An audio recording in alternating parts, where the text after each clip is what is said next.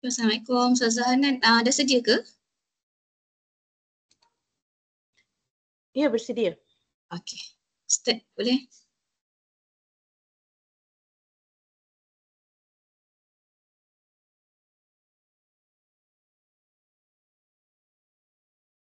Okey, boleh dengar suara saya? Boleh.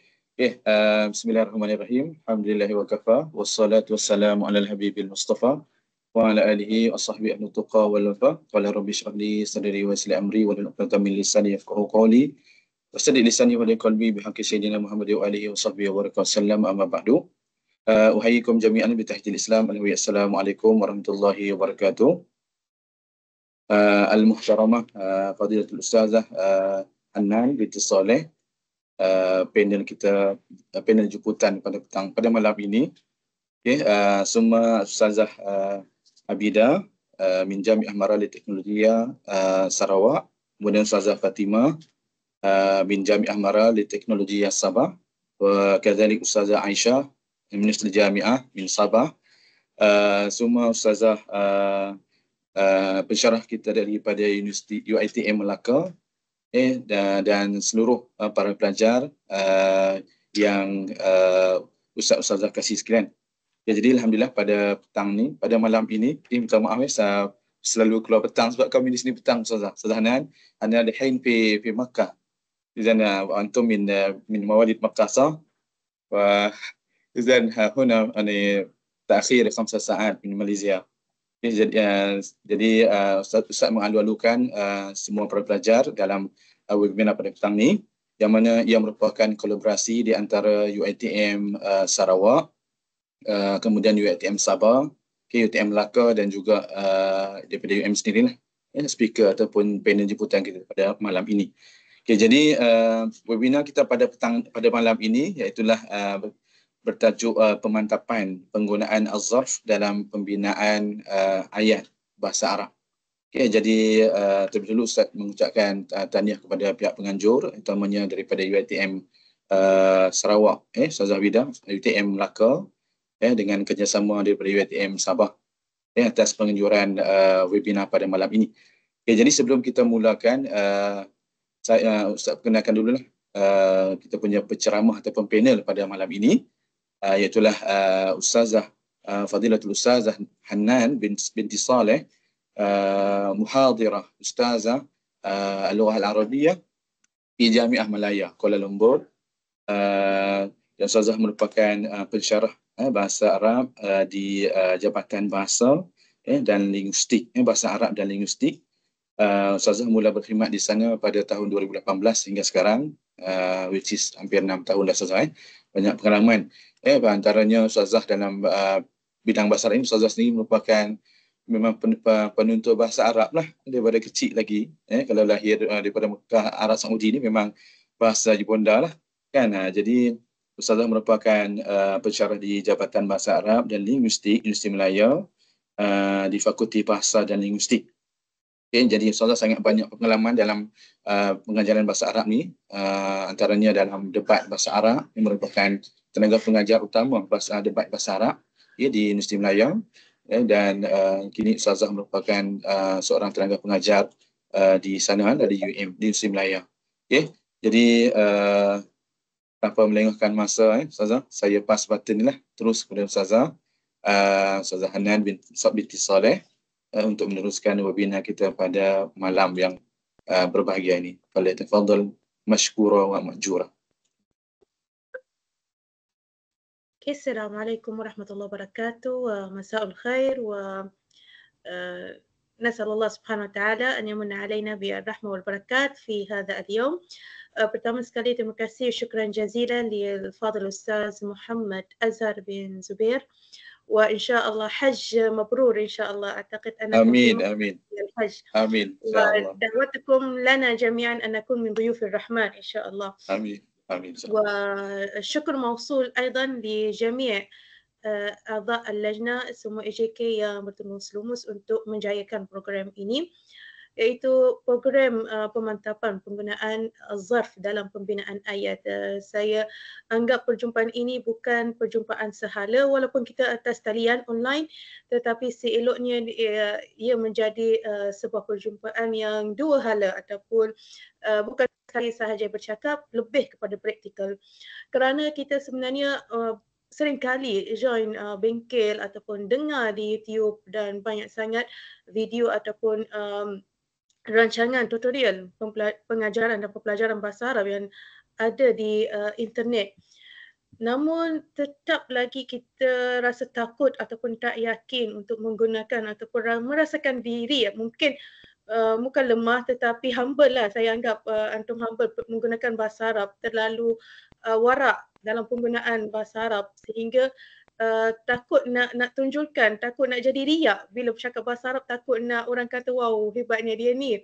Uh, uh, orang kata hebatnya seperti wali, takut jadi riak. Jangan risau, penggunaan bahasa Arab uh, makin kamu riak, makin kamu pandai bahasa Arab. Makin kamu akan jadi seperti native speaker.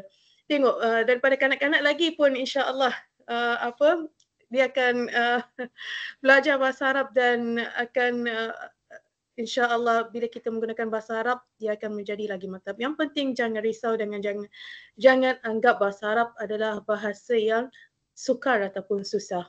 Okey. Uh, izinkan saya share slide saya dan apabila saya share slide sebenarnya saya tak nampak paparan yang ada dekat Microsoft Team. Takut kalau saya terkeluar ataupun short uh, cakap sendiri uh, silalah uh, apa penganjur ataupun saudari Adiba untuk uh, ingatkan saya WhatsApp dan kalau uh, ada pertanyaan boleh buka mic dan uh, sama ada nak letak dekat chat ataupun buka mic. Kita ada dua jam sehingga pukul 10 insyaAllah. So kita ambil jam pertama just untuk pengenalan dan kita lebih kepada praktikal. Saya lagi suka kepada praktikal sebab apabila kita melakukan praktikal sebenarnya kita boleh tahu apa lagi yang kita tak faham tentang azarf kerana tajuk azarf ini iaitu uh, penggunaan uh, kalimah zarf iaitu yang merujuk kepada tempat dan masa bukan sesuatu yang asing yang tak ada langsung dalam bahasa Melayu. Ia ada dalam bahasa Melayu cuma dalam bahasa Arab sebab kita ada sistem Arab, kita ada baris, kita ada uh, penggunaan Arab yang melibatkan nahu itu ter muncul ataupun terzahir lebih mungkin lebih daripada bahasa Melayu dan itulah penyebabnya kita rasa bahasa Arab susah. Okay, jadi bahasa Arab ini sama sahaja dengan bahasa ibunda kita bahasa Melayu. Jadi jangan risau. Okay, insyaAllah saya akan share slide saya.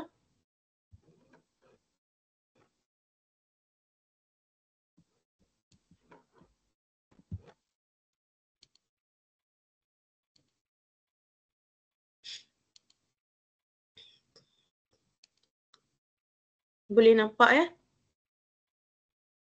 Boleh. Boleh Ustazah. Okey, terima kasih. Macam ni lah semangat. Ada uh, ada apa yang respon.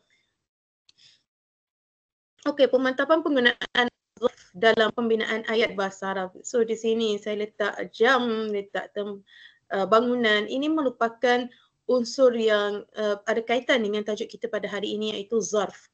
Okey, zarf ini bukan nama kawan kamu ya dalam kelas Zarif ke Zarf ke uh, zarf ini adalah satu tajuk di dalam buku Nahu iaitu yang merupakan tajuk bukan tajuk utama tajuk kita boleh anggapkan dia adalah fadlah ataupun aksesori dalam ayat okey dalam ayat bahasa Arab kita seperti sedia maklum kita ada ayat uh, main ayat dan kita ada aksesori yang nak memanjangkan ayat. Jadi zarf ini adalah satu tajuk yang merupakan uh, tajuk bagaimana kita nak panjangkan ayat Okay, jadi kalau nak uh, score oral ataupun nak bina ayat, tak nak buat ayat yang pendek-pendek, nak tunjukkan uh, seperti orang Arab bercakap, seperti uh, native speaker nak uh, bercakap, maka kita kena tahu apakah tajuk-tajuk yang menjadi aksesori dalam ayat bahasa Arab ataupun bagaimana cara kita nak panjangkan ayat dalam bahasa Arab.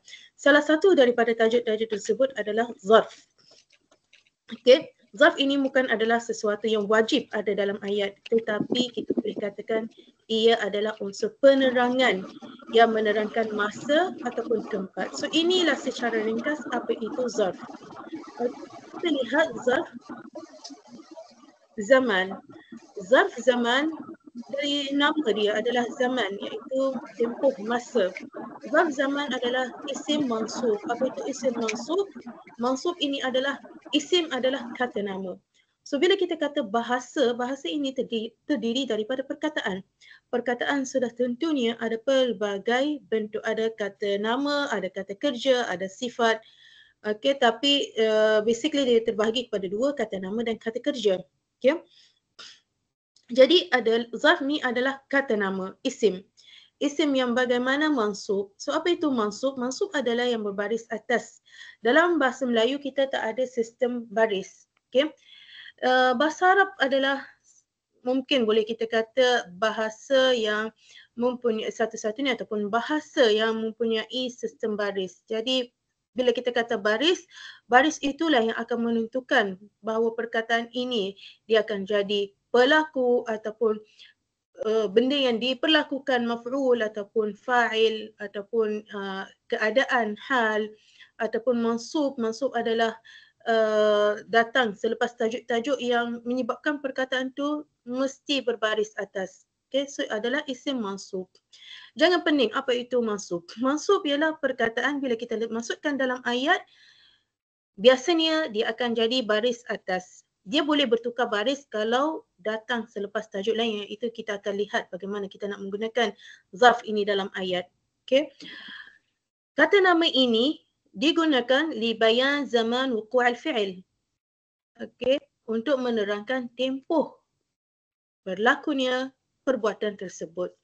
Apa maksud tempoh berlaku perbuatan tersebut? Contohnya, uh, bengkel kita pada hari ini berlaku pada waktu malam. Okey, so itulah zarf zaman berlaku pada waktu malam. Hadatha laylan.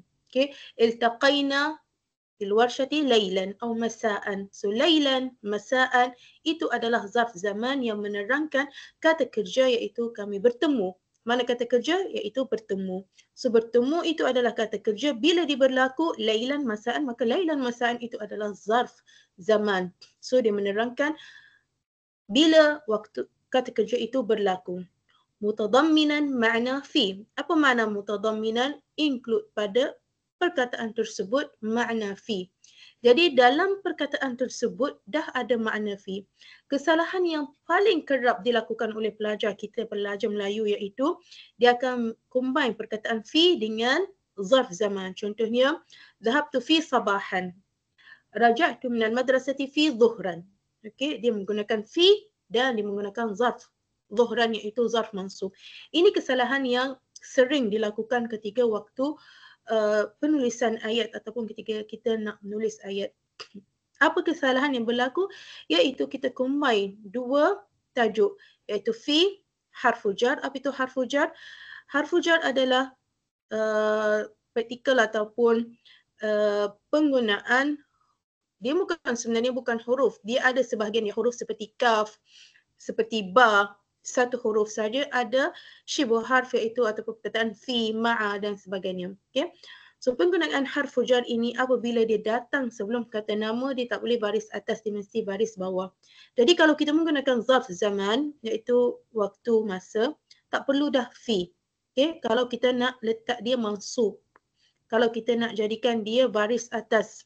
Contohnya suka bunyi baris atas di hujung perkataan lailan, masaan, syahran, yauman, eh, sa'atan. So perasan tak di hujung perkataan ada an, an, an, an. Itulah mansub. Okay. So kalau ada bunyi tersebut jangan letak selepas harfu jar. Dia tak sedap kalau kita kata fi lailan, fi masaan. Eh tak sedap dia dengar. Okay. Walaupun kamu rasa sedap dengar, yakinkan diri tak sedap dengar. Sebab apabila kita kata fi, kita kena sebut fil laili, fil sabahi, fil masai.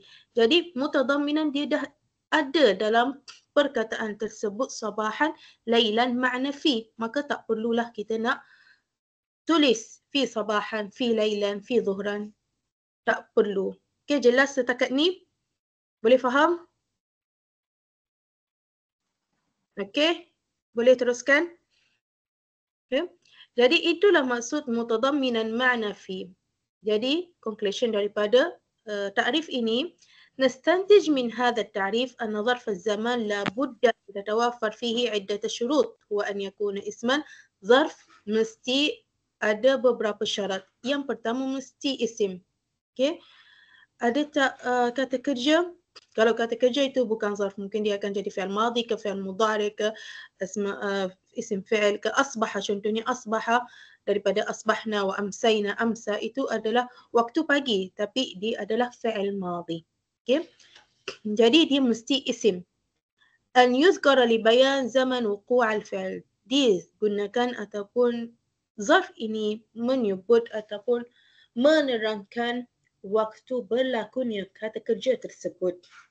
An yatadammana ma'na fi dalam penggunaan zarf itu ada maksud fi iaitu pada. Fa illam yatadamman ma'na fi la yu'rabu zarfan. Kalau tak ada maksud fi tidak i'rab dia sebagai zarf. Ini uh, i'rab. Okay. Contohnya, uh, boleh tak kita buat ayat yang kita nak menerangkan uh, menggunakan zarf zaman tetapi dia tak ada makna fi. Contohnya. Contohnya kita nak kata al-yawmu yawmu jum'ah. Hari ini hari Jumaat.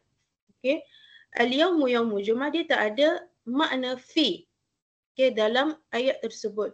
So apabila saya kata hari ini hari Jumaat dia adalah kenyataan. Al-yawmu mubtada' Okey. Jadi mana maksud fi dalam ayat itu tak ada. Jadi kita tak boleh nak i'rab dia sebagai zarf. Okey.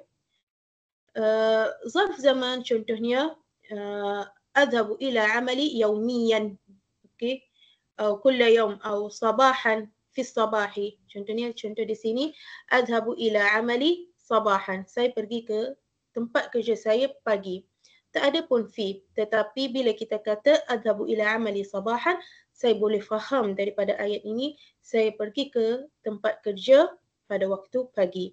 Jadi ada makna pada walaupun tak tertulis di dalam ayat di sini. Okay. So inilah huraian dia adalah yatadamman makna fi. Contoh yang kedua wa a'udu ila baiti masaan dan saya kembali ke rumah saya pada waktu petang ataupun malam okay, masaan. Tak payah nak kata fi masaan ini kesalahan yang sering dilakukan sebab uh, kita sering terjemah direct daripada bahasa Melayu dan kembali pada waktu malam ataupun petang. Jadi kita terjemah satu persatu. Bahasa Arab tak perlu dah nak letak fi kerana pada perkataan sabahan, masaan dah ada makna yang tersirat yang membawa maksud pada. Okay, just guna dalam bentuk mansub. Yartadi an-nasu malabis al-khafifah saifan. Yartadi bimana yalbas. Yartadi yalbas manusia memakai pakaian yang ringan khafifah, yang ringan, yang nipis. Okay, sorry. Yang nipis saifan pada waktu pada musim panas. Wasaqila syitaan dan pakaian yang tebal. Saqila asal dia bermaksud berat. Okay so kita nak terjemah tebal ataupun berat ikut kesesuaian ayat uh, dalam uh, contoh ini. Contohnya kita kata manusia memakai pakaian yang nipis okay, ataupun tebal. Walaupun saqil bermaksud berat so lebih tepat tebal pada waktu ataupun pada musim sejuk maka ayat ini dah ada makna fi so ini adalah zarf zaman okay kalau laju ataupun tak jelas boleh uh, buka mic dan boleh tanya ya. Okay. Jadi zarf zaman ini adalah penggunaan yang sama saja dengan bahasa Melayu. Kita gunakan dalam bahasa Melayu. Dalam bahasa Melayu pun ada juga elemen masa yang menunjukkan dalam ayat kita ataupun penerangan dalam ayat kita. Saya pergi, uh, saya pulang ke kampung pada waktu malam contohnya. Okay saya pergi sekolah pada waktu pagi. Jadi ayat ini dalam bahasa Arab dinamakan adalah jumlah fiha zarf zaman. Ayat yang menggunakan zarf zaman pada ayat tersebut kerana menunjukkan waktu kata kerja itu berlaku. Okay. Jadi jangan risau nak guna. Bezanya adalah apabila kita nak terjemah, adakah kita nak guna fi ataupun tanpa fi. Kalau nak guna fi, nak terjemah satu persatu, contohnya, saya pergi kerja pada waktu pagi, maka adhabu ila amali fi as-sabahi. Al sabahi. Buang alif tanwin di sini. Okay, kalau suka sangat perkataan fi, suka sangat penggunaan fi, okay, so dia nampak macam orang Arab bercakap, so nak guna fi, tak jadi masalah, letak tapi dia akan jadi jar wa majrur, okay. Fi as-sabahi. Nak guna zarf, terus guna sabahan. Adhabu ila amali sabahan. Tak perlu dah nak guna fi. Kedua-dua ayat itu membawa makna yang sama. Okay. Jadi biasakan diri kalau letak an iaitu mansub, jangan letak fi ataupun harfu jar.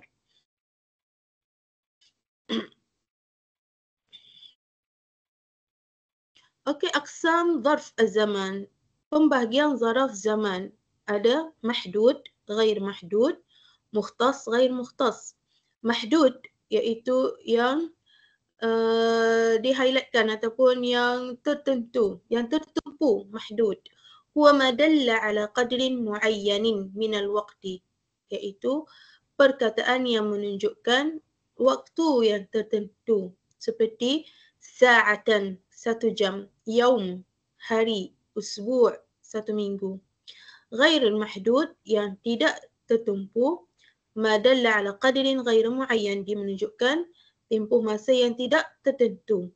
Seperti lahzah seketika lahzah burha adalah sama. Fatra waktu yang uh, pendek. Fatratan min zaman so ini adalah penggunaan zarf zaman juga. Tapi dia datang dalam bentuk yang tidak tertumpu ataupun tidak tertentu. So bila kita kata sa'atan, kita dah khaskan perkataan itu satu jam Yauman, kita dah kata satu hari. Sebu'an, seminggu. Syahran, bulan. Tapi bila kita kata lahzah, seketika ataupun sekejap, ataupun waktu yang pendek, waktu yang singkat, so itu adalah ghair mahdud. Apa pula beza dengan mukhtas wa ghair mukhtas? Okay. مختص هو الظرف المضاف أو الظرف الموصوف مثل سافرت صباح اليوم مختص kita tentukan kata kerja kita iaitu saya bermusafir. Bila saya musafir pagi. Pagi apa? Pagi hari ini. Sabah al yaumi. Safartu sabah al yaumi. Mana zarf di zaman dia? Nah, sabah ke al yaum? Boleh siapa-siapa jawab?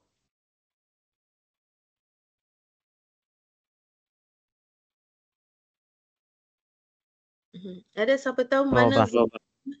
Sabah. Ada lagi? Okey, Sabah boleh jadi zarf zaman tapi disebabkan saya tentukan, saya khaskan pagi bila kata pagi, pagi hari apa? Hari Isnin ke, hari Selasa ke, hari Rabu ke, hari Kamis ke, hari Jumaat ataupun pagi semalam, pagi esok, pagi hari ini, so saya khaskan saya bermusafir pagi hari ini.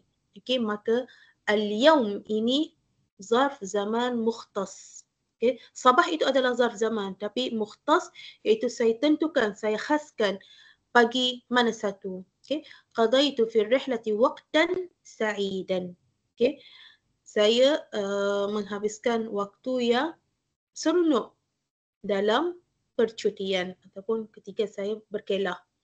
Waktan itu adalah zarf zaman tapi saya tentukan zarf zaman ini dengan sifah iaitu sa'idan waktu yang bahagia bukan waktu yang bosan bukan sedih dan sebagainya so itu adalah mukhtas jadi nampak mahdud itu adalah sa'ah, yaum, sabah, masa, usbu', syahr, mukhtas apabila kita tambah Contohnya sabah al-yawm mudhaf mudhafun ilaihi ataupun sifah kita tambah kata sifat padanya. Jadi itu adalah mukhtas yang khusus. Kita khaskan penggunaan zarf zaman itu pada sesuatu yang tertentu, pada sifat yang tertentu. So jelas antara mahdud dan mukhtas. Gairu mukhtas iaitu kita biar open. Okay. Safartu sabahan, saya pergi waktu pagi. Tak tahu pagi uh, hari Isnin ke, hari Selasa ke, hari Jumaat, pagi hari ini ataupun pagi semalam. Qadaitu fi rihlati waqtan.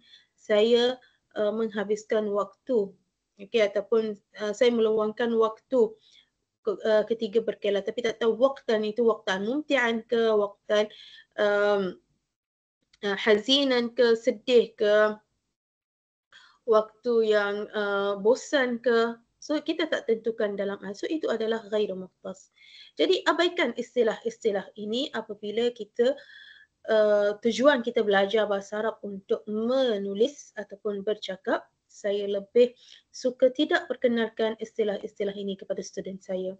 Saya lebih fokus kepada cara penggunaan uh, tajuk nahu tersebut dalam ayat. Okay jadi boleh tak uh, saya nak minta para pelajar yang beriman yang ada dengan kita pada hari ini berikan contoh lain kepada zarf zaman selain daripada sa'a, yaum, usbu' zarf yang menunjukkan perkataan yang menunjukkan waktu. Siapa nak berikan? Siapa nak berikan contoh selain daripada sa'a, yaum, usbu'? Ya Allah ya tulab. Buka dalam TSC 151 tu. Ha, buka buku TSC 151. Ya Allah jangan risau. Kalau salah pun tak ada orang nak uh, nak bagi denda. Kalau salah Ustaz Ustazah potong markah. Ha, jawab. Jawab soalan. Kalau tak jawab, kita potong markah. Kalau jawab, kalau jawab, ha. Ada extra markah. Ha, tu yang uh, best dengar tu ada extra mark. Uh, apa selain daripada saat? Apa selain daripada yom? Apa selain daripada usbuk zarf zaman ini? Kalau ba'ada, Ustazah, selepas? Ba'ada. Okey. Lagi? Betul, zarf ba'da. Apa dia? Ba'da mesti ada qabla. Okey, ba'da qabla. Ha, lagi, lagi. Ya Allah, lagi. lagi. Kalau rasa dah apa dia? Kalau apa? Kuat sikit, risau. kuat sikit tengah malu-malu. Betul dah apa yang awak sebut tadi tu?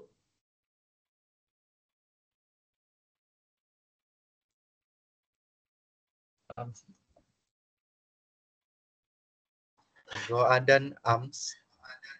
Gadan ams. Ahsan tabarakallah fiqh. Gadan esok. Okay. Ams malam. Okay. Jadi ambil kata seerti gadan dan ams. Ams kata seerti ams al-barih. Okay. Al, alif, lam, ba, alif, raha. Al-barih seerti dia ams iaitu semalam. Okay. Uh, lagi?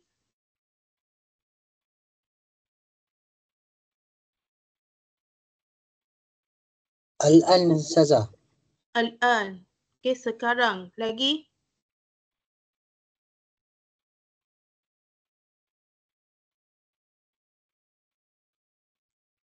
Uh, Yauma. Yauman. Okey. Yauman, ha. syahran, sanatan. So, apa sahaja menunjukkan waktu itu adalah zarf zaman. Siapa yang menghantui kepala otak antum kata bahasa Arab ni susah. Tajuk zarf zaman ni adalah susah. Tak susah mana pun kan. Jadi apa sahaja perkataan yang menerangkan waktu berlakunya kata kerja maka itulah adalah zarf. Okay. Cuma penggunaan dia dalam ayat kita kena tahu ada dua bentuk penggunaan. Sorry saya tak tulis sini. Okay, jadi sila tulis sama ada kita nak guna fi ataupun kita nak gunakan dia dalam bentuk mansub. Ingat kalau kita menggunakan fi, fil yaumi, fis zuhri, fis sabahi, jangan jadikan dia dalam bentuk mansub. Kenapa? Sebab ada fi. Fi adalah harfu jar. Maka perkataan selepas fi itu mesti baris bawah. Jadi kita tak boleh nak kata fi sabahan, fi masaan. Dan ini adalah kesalahan yang sering berlaku sehinggalah pelajar masuk uh, degree masa pun masih lagi melakukan kesalahan yang sama kerana apa? Sebab otak kita direct translate daripada bahasa Melayu. Okay. Jadi bila nak guna sabahan, zuhran, maka itu dah ada maksud fi dah. Dah ada ya tadamman makna fi dah ada include dalam perkataan sabahan, zuhran, asran, sanatan, dahran, maksud fi iaitu pada. Jadi jangan risau kalau tinggal huruf fi dalam terjemahan nak terjemah ke dalam bahasa Arab. Okey jelas ya. So itu adalah zarf zaman. Maka khulasa zarf zaman dia adalah isim mansub yatadamman makna fi yang ada include padanya maksud fi iaitu pada. Okey. Dan kalau kita lihat uh, di sini contohnya sabaha al-yaumi. Sabaha al-yaumi kalau kita sentuh dari segi i'rab, sabaha adalah kata nama sebab kita kata zarf zaman adalah kata kata nama, al-yaum pun kata nama. Jadi apabila kata nama plus kata nama maka itu mudhaf mudhafun ilaihi, maka kita akan baca baca al-yaumi baris bawah. Pelajar yang confuse dengan ejaan dia akan letak ya Okey, al-yaumi alif lam ya waw mim ya. Sedangkan bunyi yi, mi itu itu adalah kasrah bukan ya. So bagaimana saya nak tahu saya nak tambah ya ataupun just kasrah?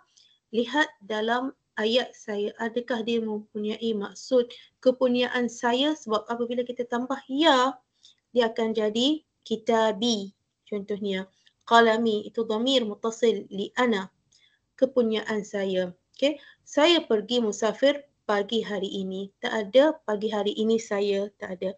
Jadi itu just bunyi kasrah. So ini adalah cara dari segi ejaan ataupun penulisan.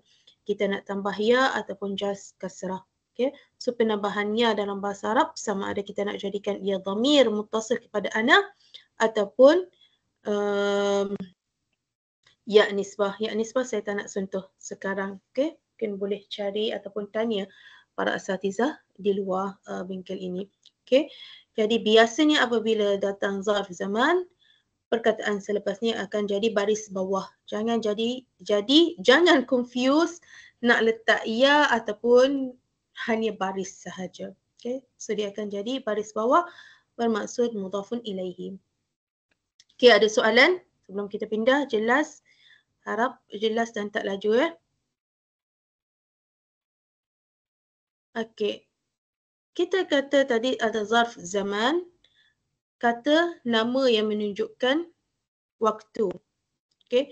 Sebelum saya masuk kepada zarf makan, boleh tak uh, siapa-siapa buat ayat apa yang kamu buat hari ini menggunakan zarf zaman. Contohnya saya mulakan dahulu. Zahabtu uh, ila amali sabahan wa raja'tu ila al-baiti zuhran. Okay, atau wasaltu ila al-baiti zuhran. Saya pergi ke kerja pagi, pada waktu pagi dan pulang ke rumah pada waktu zuhur. Okay. Ataupun siapa uh, Okay, kita buat uh, game menyambung cerita okay So saya akan mulakan cerita ayat yang ada zarf zaman. So next pelajar dia akan bina ayat yang ada zarf zaman.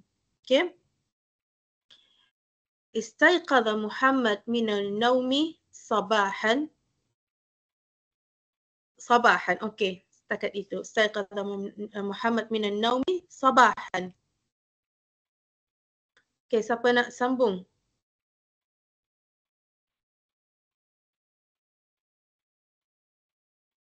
Kamu boleh reka cerita dia mandi satu jam ke dia uh, apa dia, dia buat dia bersiap sebelum pergi sekolah satu jam ke. Kemudian dia pergi sekolah bila pagi ke sesi pagi ke sesi petang ke. Rutin pagi rutin tengah hari rutin petang. Jadi banyak ayat yang kita boleh bina yang ada zarf zaman Jangan risau, buat ayat. Saya tak tak lihat uh, kesalahan nahu betul ke tak. Yang penting kamu faham tak penggunaan zarf zaman dalam ayat. Okey, siapa nak sambung? Muhammad bangun pada waktu pagi. Cuba cuba sambung bahasa Melayu dulu. Baru terjemah Arab. Betul. Ha, cuba. Kita yang untungnya kita orang Melayu ni, bahasa Melayu kita ni kita boleh terjemah dalam bahasa Arab. Boleh jadikan ayat yang sedap dalam bahasa Arab. Jadi jangan risau. Bahasa Arab ni sangat mudah.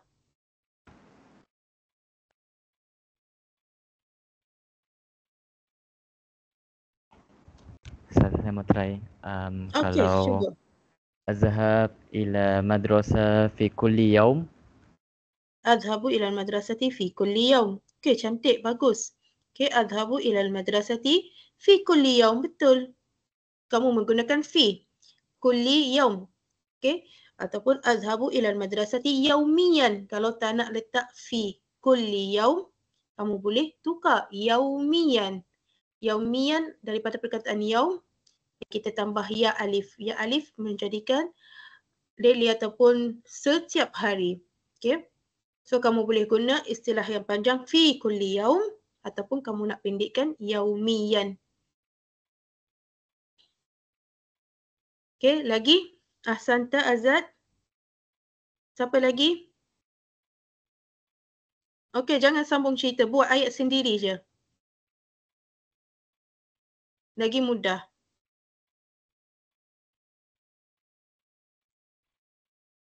Ha. Saliza.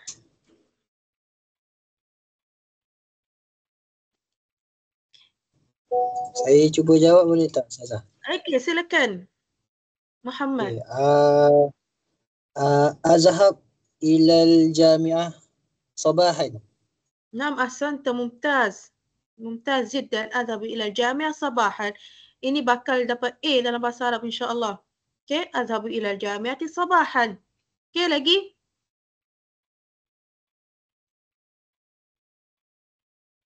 Uh, Ustazah. Ya, silakan. Al-Qurat mas masaan. Apa dia? Kemasaan? Al-ab Al-Qurat masan. Ya, lagi sangat bagus. Al-abul kurata masaan. Okay, al-kura makna bola. Saya main bola petang. Sangat bagus. Al-abul kurata masaan. Jadi jangan letak fi masaan tu salah. Okay, terus kata al-abul kurata masaan. Kalau tak suka bunyi atas an tu nak bunyi in juga, buang alif lam tambah fi. Fi al-masai. Al-abul kurata fi al-masai. Jadi sama nak kata fil masai ataupun masaan. Okay. Lagi?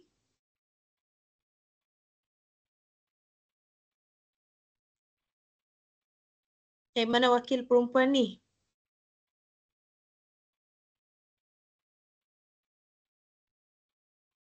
mana calon ustazah-ustazah. okay, Lagi? okay kita ambil last. Contohnya last. Siapa nak rebut peluang?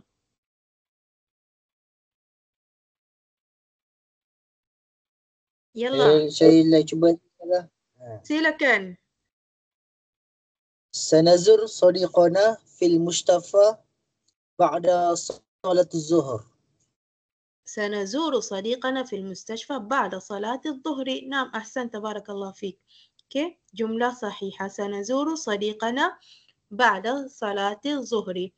أوكي perkataan بعد صلاة الظهر selepas jangan guna ayat zurtu uh, boleh tak jadi masalah zurtu sadiqan صديق زرنا sorry زرنا صديقنا بعد صلاة الظهر.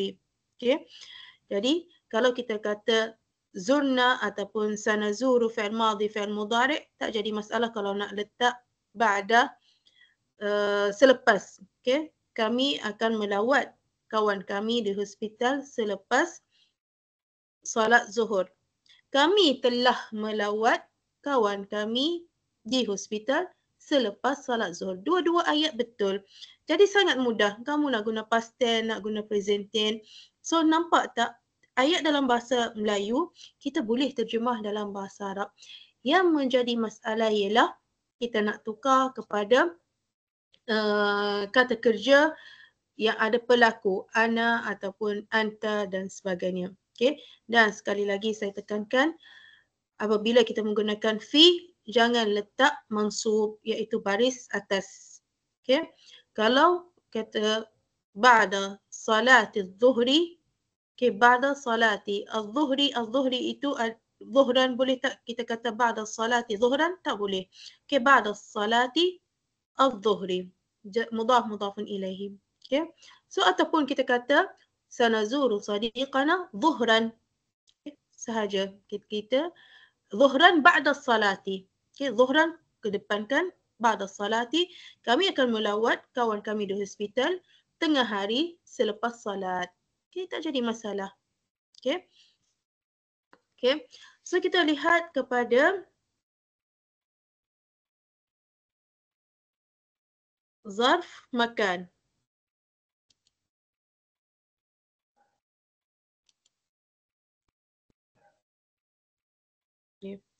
At-tarif bi zarf al-makan. Zarf makan sama juga mudah senang seperti zarf zaman. Jangan fobia bila dengar zaraf ini, zaraf sampai migau pun ataupun uh, apa tidur bercakap dalam tidur migau duk sebut zaraf makan. Zaraf ke- kejut kawan sebilik kamu. Apa hal dia ni? Duk jampi okey? So zarf zaman adalah perkataan yang menunjukkan waktu zarf makan perkataan yang menunjukkan tempat makan. Bukan makan itu yang dalam bahasa Melayu makan bermakna akala makan. Okey ini makan iaitu tempat Zarf makan adalah perkataan yang menunjukkan hay'ah wa hudud.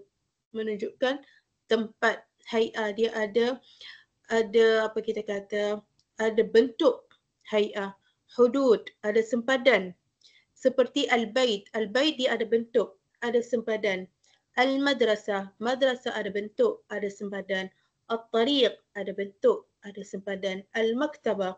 So al-bait rumah madrasah, sekolah, tariq, jalan, maktabah, perpustakaan. So itu adalah perkataan yang mempunyai hay'ah, bentuk dan hudud iaitu sempadan. Wa yu'rab zarf al-makan al-mahdud hasab mawqihi fil jumlah. Zarf makan mahdud, mahdud apa itu mahdud? Yang ditentukan. Contohnya saya kata bait bait ini adalah rumah. So saya tentukan perkataan bukan di sekolah, bukan di pasar, bukan di uh, kedai tetapi di rumah. So saya tentukan tempat itu di rumah, maka itulah zarf makan mahdud. Zarf makan mahdud ini i'rab dia seperti ataupun ikut kedudukan di dalam ayat. I'rab dalam bahasa Arab ikut ayat ayat dalam bahasa Arab kita ada ayat kata nama, kita ada ayat kata kerja. Ayat kata nama daripada namanya ayat kata nama iaitu dia mesti bermula dengan kata nama. Okay. So kalau bermula dengan kata nama maka kita akan panggil mubtada iaitu objek khabar subjek. Okay. Cerita dan uh, sorry benda dan cerita. Kita ada benda apa cerita dia. Contohnya kita kata rumah. Okay, rumah ini adalah cerita benda yang kita nak pertengahkan. So ini adalah makan rumah. So kita akan kata al-baitu kabirun. Okay, rumah itu besar. Cerita dia besar. Jadi al-baitu di sini kita tak i'rab dia zarf makan tapi kita kata mubtada. So inilah maksud ayat di sini hasab mauqihi fil jumlah ikut kedudukan perkataan itu dalam ayat. Kalau dia datang dalam ayat kata nama, maka dia ada subjek dan predikat. Mungkin dia akan jadi subjek, mungkin dia boleh jadi predikat. Ikut kedudukan ayat dalam uh, kedudukan dalam ayat. ولا ينصب على الظرفية مثل مدرستي هي بيتي الثاني أصبح الطريق متسعا إن المكتبة منبع المعرفة okay. i'rab kalimah al-madrasah fil misal awal mubtada kerana dia datang dalam bentuk ayat kata nama. Ayat kata nama yang terdiri daripada kata nama, i'rab dia adalah subjek. Okay. Wa i'rab kalimat tariq fil misal tsani asbaha isim marfu dan tariq di sini dia adalah isim marfu. Okay. So di sini asbaha adawat kerana uh, saya tak pasti antum belajar ke tidak. Jadi kita tak tekan sangat kepada i'rab kerana tajuk kita cara penggunaan zarf sama ada zarf makan ataupun zaman dalam ayat bukan i'rab. Okay. Tetapi kita boleh uh, secara tidak langsung kita boleh tahu uh, cara bacaan yang betul. Okey. Asbaha di sini akhawat kana fi'il naqis ataupun nasikh. Okey. So di sini seolah kata kerja. Okey. Uh, fi'il madhi yang tak lengkap. So at-tariq dia akan baca baris depan. Okey. Wa i'rab kalimah al-maktaba fil misal salis isim mansub sebab ada inna. Inna dia akan jadikan perkataan selepas inna ini mesti baris atas. Innal yawma. Inna sa'ata. Okey, kalau kita menggunakan zarf zaman tadi, okey kita kata innal yawma yaumun jamilun. Sesungguhnya hari ini hari yang indah. Okey. Innal yawma yaumun jamilun. Okey. So ini adalah zarf makan ataupun zarf zaman. Tadi saya menggunakan contoh zarf zaman. Makan adalah apa sahaja perkataan yang menunjukkan tempat. Okey. Uh, contohnya hadiqah, uh, bait. So contoh-contoh ini adalah makan mahdud iaitu yang dah ditentukan. Kita ada zarf makan ghair mahdud yang tidak ditentukan. Contohnya ghair mahdud huwa laysa lahu hay'a wala hudud. Dia tak ada bentuk, tak ada uh, sempadan. Contohnya baina, wasta, inda, tijaha, huna iaitu di antara. Okay. Di atas, di tengah, di belakang. Okay. Dia tak ada tak ada bentuk. Kalau macam kita kata hayat al-bait kita dah tahu rumah itu mungkin panjang, rumah itu mungkin tinggi, rumah itu mungkin petak dan sebagainya. So dia ada hayat tu zarf zaman makan sorry zarf makan mahdud yang ada bentuk. Okey zarf zaman ghair mahdud iaitu kedudukan yang kita kata di tengah di depan di belakang. Okey kanan kiri uh, utara selatan. So itu adalah zarf makan ghair mahdud yang tidak ditentukan. Okey jelas? Jadi zarf makan ini sama sahaja uh, penggunaan dia dalam ayat. Cuma bezanya dia menunjukkan tempat. Yang tadi zaman menunjukkan masa, yang ini menunjukkan tempat. So tak ada benda yang susah tentang zarf zaman dan zarf makan. Okey. Lihat objek yang ada sekeliling kamu dan menggunakan contoh zarf fauqa tahta fauqa amama depan khalfa belakang amama ingat perkataan imam imam sentiasa berdiri di depan maka just tukar hamzah daripada bawah naik ke atas dia maksud menjadi depan khalfa belakang okey yamin kanan yasar okey kiri. Jangan kata yasir. Yasir itu mudah ataupun berjalan. Yasar, yasar bermaksud kiri. Syarq, gharb. Okay. Timur, barat. Syamal, utara. Janub, selatan. Okay. Lihat objek yang ada di depan kamu dan describe objek yang ada di depan kamu di atas ataupun di bawah, di sebelah kanan kamu ataupun di sebelah kiri kamu. Contohnya, Al-Kitabu Amami, buku di depan saya. Kalau buku itu di kanan ataupun kiri ataupun di belakang ataupun di bawah, sila describe objek yang ada di sekeliling kamu. Okay, siapa nak cuba? Ada siapa-siapa nak cuba? Menggunakan zarf makan.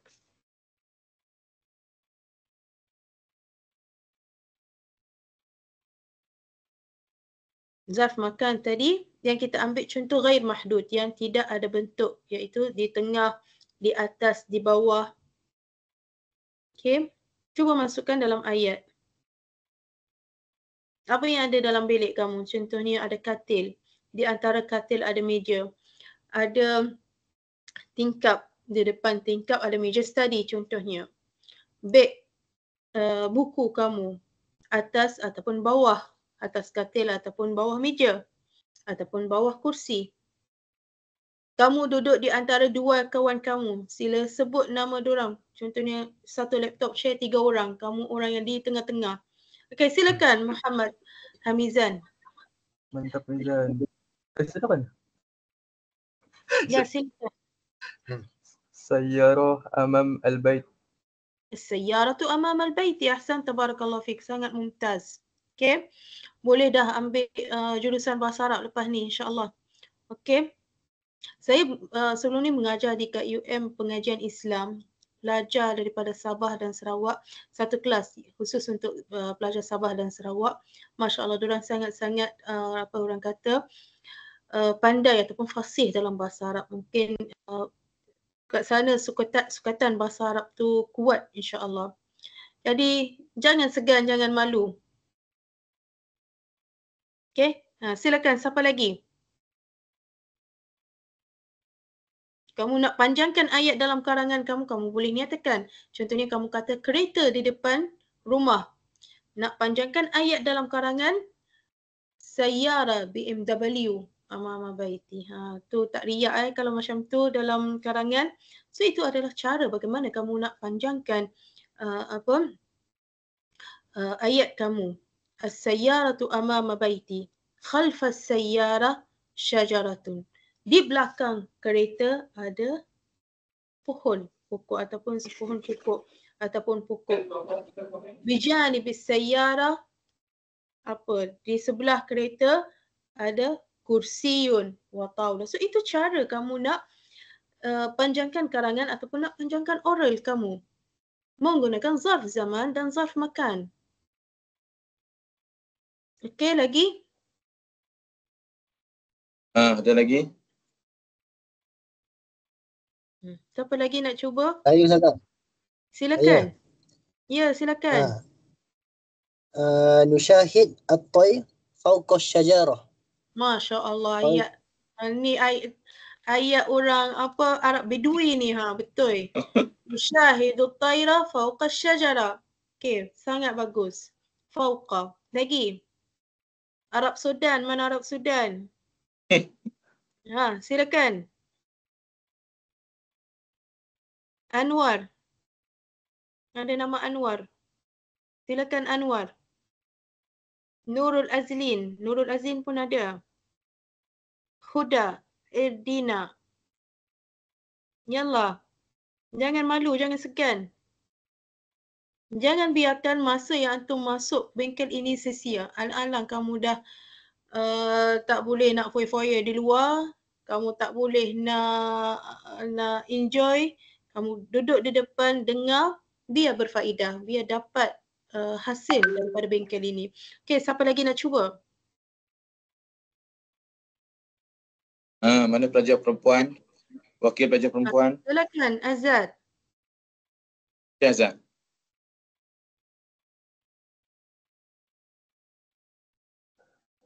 Azan. Ah, teruskan Azan. آه، يقع الفندق بجوار مركز الشرطة يقع الفندق بجوار مركز الشرطة نعم بجوار بجانب kata seerti di sebelah بجوار berhampiran berdekatan بجانب di sebelah okey jara yujawiru asal perkataan ini berhampiran بجوار okey يقع الفندق بجوار مركز الشرطة نعم أحسنت okey lagi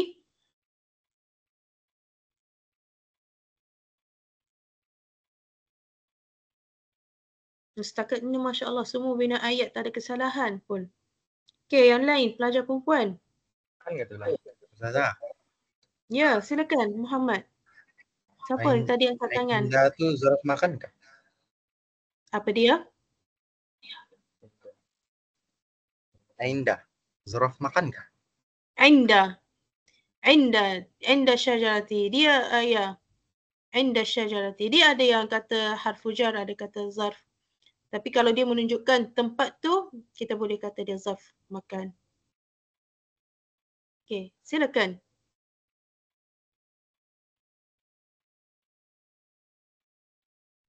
Afia, Ha, Afia buat tadi ada pelajar perempuan menggunakan kat tangan. Ha, buat ayat menggunakan inda. Afia ada, tadi Afia kat tangan kan? Ha, Afia silakan. Eh, anak Um, Siti kalau- Nurhaliza pun ada. Afia. Inda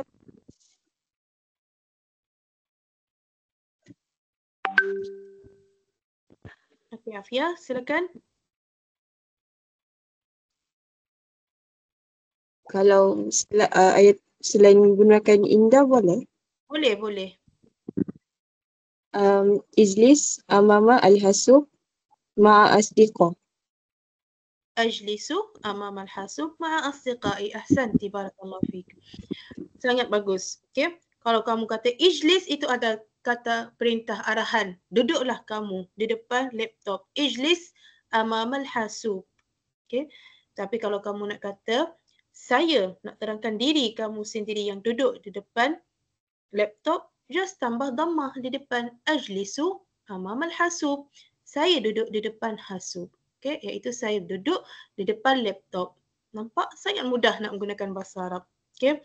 So lepas ni kalau nak pergi buat umrah, buat haji insya-Allah dah boleh dah uh, apa menggunakan bahasa Arab. Kalau gunakan bah- bahasa Arab dapatlah harga murah. Nak beli jubah sehelai dapat dua helai. Satu free sebab cakap bahasa Arab. Okay. Lagi? Siapa lagi nak cuba? Ustazah, Ya silakan. Al-unsfur fawqa al-syajarah. Al-usfur fauqa asy-syajarah betul. Al-usfur kan kamu kata? Ya, ya. Ya betul. Al-usfuru fauqa asy-syajarah. Burung atas pokok. Enam. Sangat bagus. Lagi?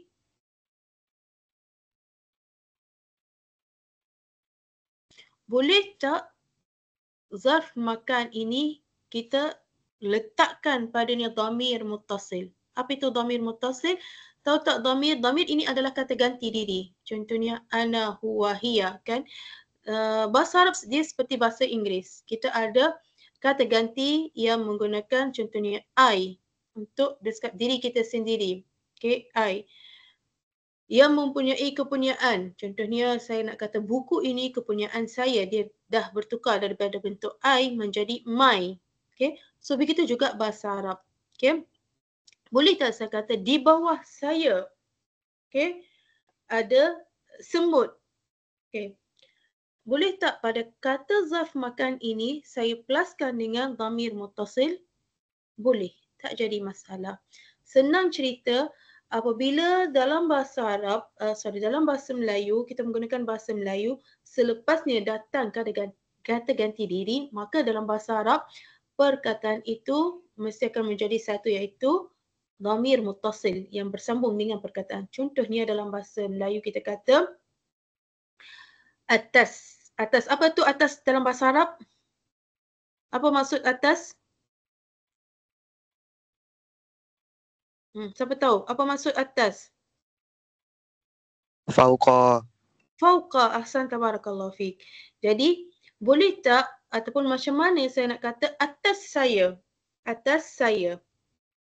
Adakah saya nak kata fauq ana? Boleh ke saya nak kata fauq ana?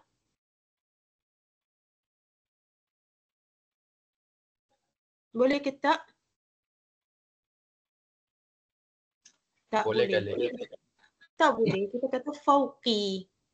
Okey. Fauq ana tak berapa sedap dalam bahasa Arab. Okey. Dia kan jadi fauqi. Okey. Apa bermaksud ya ini? Atas saya. So ingat konsep ini. Apabila kata nama selepasnya datang kata ganti diri nama. Apa itu kata ganti diri nama? Saya, awak, kami dan sebagainya. Datang selepas kata nama. Contohnya kata nama kita katakanlah rumah. Rumah adalah kata nama. Rumah saya terletak di depan hospital. Rumah saya terletak di rum- uh, di depan hospital. Rumah apa rumah dalam bahasa Arab? Tadi kita jumpa dalam slide uh, zarf makan.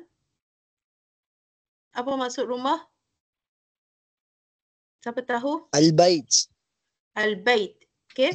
So tadi kamu sebut ada alif lam. So kalau nak kata rumah saya, buang alif lam. Okay. Sebab alif lam tu bermaksud the. Okay. Boleh tak dalam bahasa Inggeris saya, nak, saya kata the my house? Boleh tak saya kata the my house dalam bahasa Inggeris? Tak boleh kan? Sama ada kita kata the house ataupun my house. Okay. Jadi buang alif lam jadi baiti amama al-mustashfa. Okay. Sekali lagi, depan. Apa depan? Depan dalam bahasa Arab. Mamam. Amam. Depan saya Muhammad. Okay. Ataupun depan saya Nur Afia. Macam mana saya nak cakap dalam bahasa Arab? Kasih. Amami kah? Amami. Ahsan tabarakallah fiha. Dan ni boleh dah apa? Apply nanti degree ataupun master sama ke bahasa Arab. Amami. Sangat mudah kan? Sekali lagi. Kita kata jiwar. Tadi kita ada perkataan kawan kita kata bijiwar iaitu berhampiran. Berhampiran saya ustaz saya. Okay. Macam mana saya nak kata berhampiran dengan saya ustaz saya? Apa berhampiran tadi?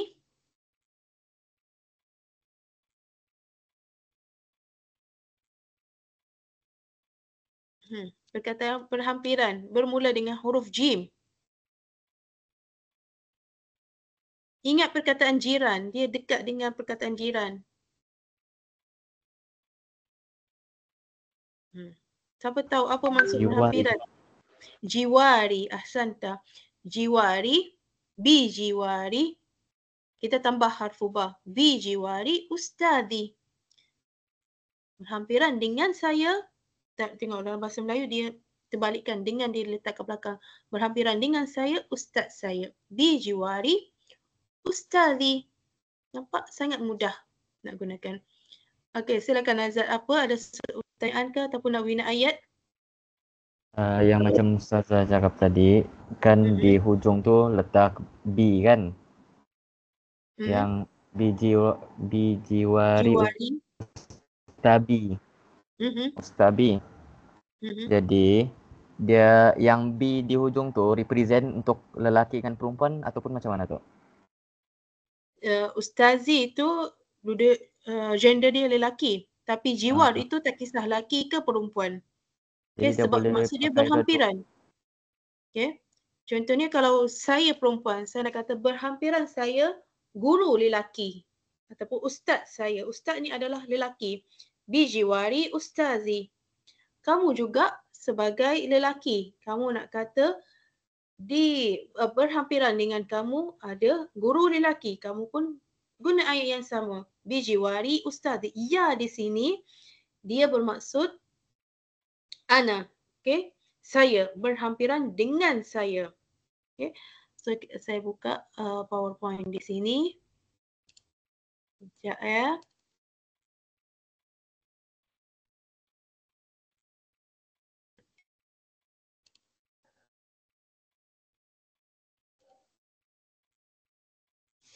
Okay, asal perkataan jiwar. Okay. Jiwar bermaksud berhampiran. Okay. Kalau saya tambah bijiwari, penambahan di sini ba, ya. Ya ini maksud berhampiran. Ya di sini bermaksud saya. Berhampiran dengan saya. Dengan mana B di sini? Okay. Berhampiran dengan saya siapa-siapa. Bijiwari sadiqati. Berhampiran dengan saya kawan saya Fatimah. Sadiqi Muhammad. Berhampiran dengan saya kawan saya Muhammad iaitu gender lelaki. Maka perkau, uh, perkataan selepas ini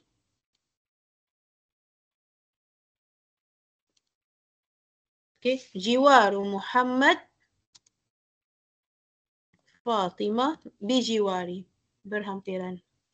Okay, kalau nak kata berhampiran kita tambah bi bijiwaru Muhammad Fatimah berhampiran dengan Muhammad Fatimah. Boleh letak muannas ke muzakkar tak jadi masalah. Okay. Sebab zarf makan ini dia tak tak menunjukkan kepada gender. Dia menunjukkan tempat. Okay. Dia describe kepada tempat.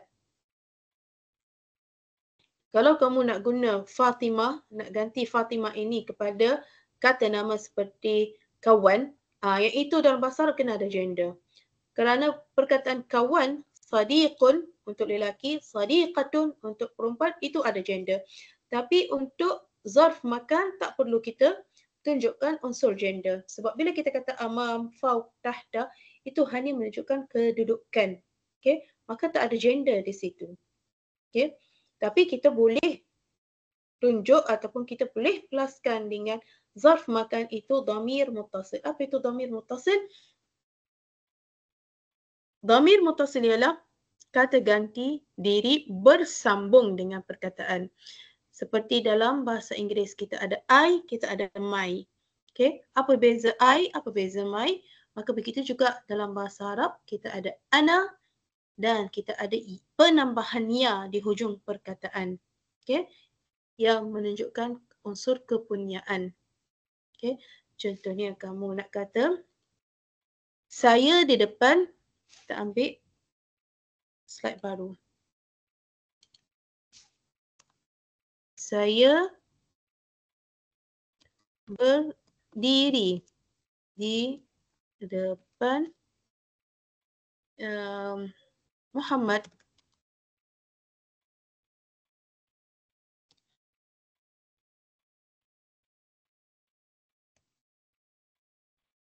di depan saya Muhammad. Okay. Saya berdiri di depan Muhammad. Siapa nak try terjemah dalam bahasa Arab? Apa saya dalam bahasa Arab? Apa saya? Hmm. Cepat. Ana. Ana. Ahsan tak? Berdiri.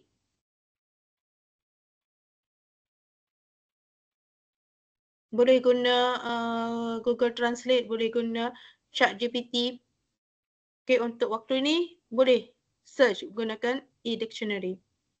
Okay, apa maksud berdiri?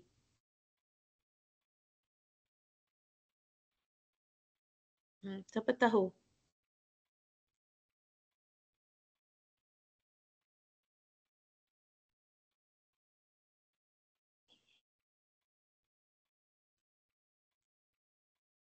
Al-Qiyam ke Ustazah? Al-Qiyam. Al-Qiyam ini adalah kata nama. Betul, Qiyam itu adalah berdiri. Tapi apabila kita letakkan alif lam itu adalah kata nama. Uh, apa dalam bahasa Melayu?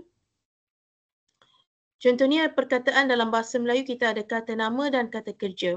Okay. Sebagai contoh,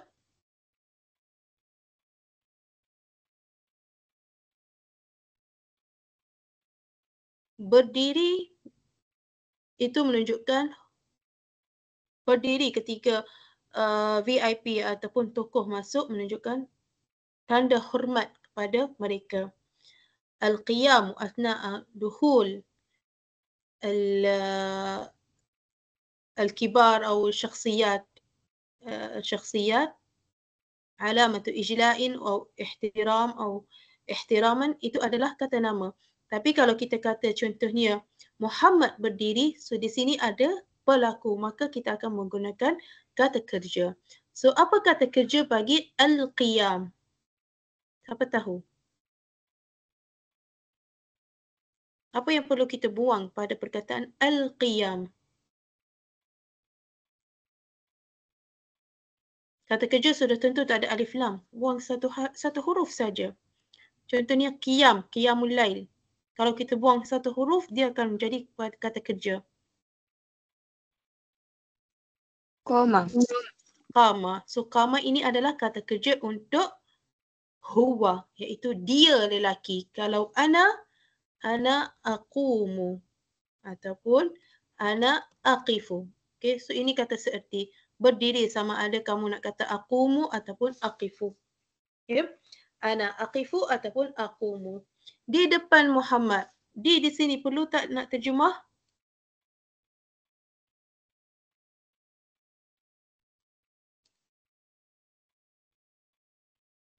Ana aqumu ataupun aqifu di depan. Apa maksud di depan? Siapa tahu? Amama. Tak payah nak terjemah di. Amama Muhammad. Ana aqifu amama Muhammadin. Okay. So itu terjemahan dalam bahasa Arab. Ayat yang kedua, di depan saya Muhammad. Apa depan saya?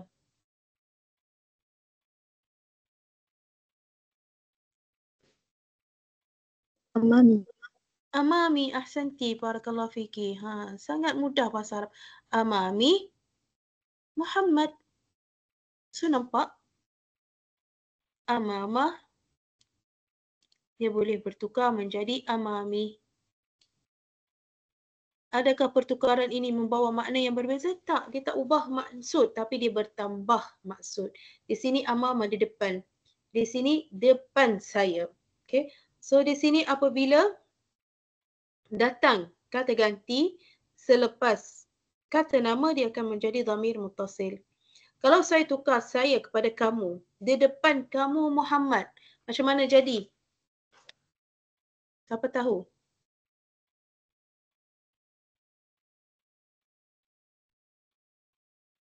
Di depan kamu Muhammad. Kalau ya di sini menunjukkan saya. Ya di Semua sini dompet orang angkat. menunjukkan saya. Ha, dhamir muttasil. Ha, Ha, jadi apa? mutasil. Ha, siapa Ya yang dah terbelah dah? Amamuka. Amamuka. Ahsanti. Okey. Jadi sangat mudah nak guna. Kalau untuk dhamir hiya.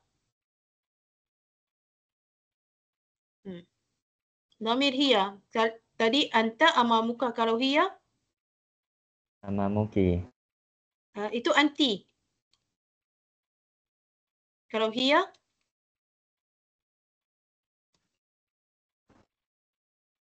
Amamuha.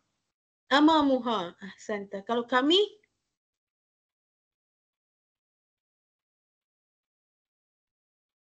Amamuna. amamuna. Jadi konsep yang sama kalau kita nak guna fauqa, tahta, qabla, ba'da, okay? Fauquna, fauquka, fauquna Allah subhanahu wa ta'ala. Okay? Di atas kami semua Allah subhanahu wa ta'ala. Jadi kalau kita berusaha, kita bersungguh-sungguh, pasti kita akan dapat hasil yang uh, lumayan insya-Allah. Okay? Jadi ini adalah penggunaan zarf makan. Kita boleh guna sebagai satu perkataan ataupun kita nak pelaskan dengan dhamir muttasil. Okey. Yang penting bila saya nak pelaskan dengan dhamir muttasil apabila kata ganti diri nama itu datang selepas kata nama. Zarf itu sendiri. Contohnya kita kata zarf fauqa di atas di atas dia seorang lelaki amamuhu. Okey. Di uh, depan di uh, depan kami semua uh, amamuna. Di depan kamu semua amamakum.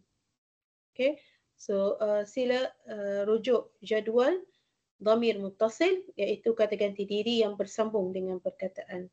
Okay uh, zarf zaman boleh tak saya nak pelaskan dengan dhamir muttasil contohnya nak kata hari saya penuh dengan uh, kegembiraan contohnya. Penuh dengan peristiwa yang menggembirakan. Boleh tak? Boleh. Kalau dalam bahasa Melayu boleh dalam bahasa Arab pun boleh. Hari saya yaumi. Okey uh, yaumuna hari kami. Okey tapi kalau kita nak terangkan pada waktu sahaja waktu kata kerja itu berlaku tak perlulah nak tambah dhamir mutasil. Contohnya kamu nak kata waktu kamu pergi sekolah pagi.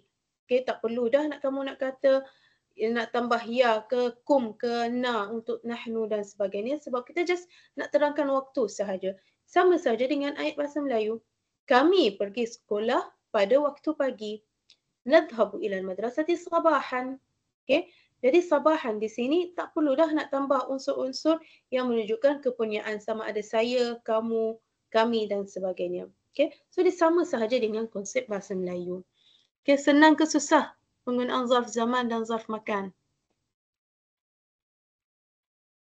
Jelas? Jelas. Alhamdulillah kalau jelas. Okey.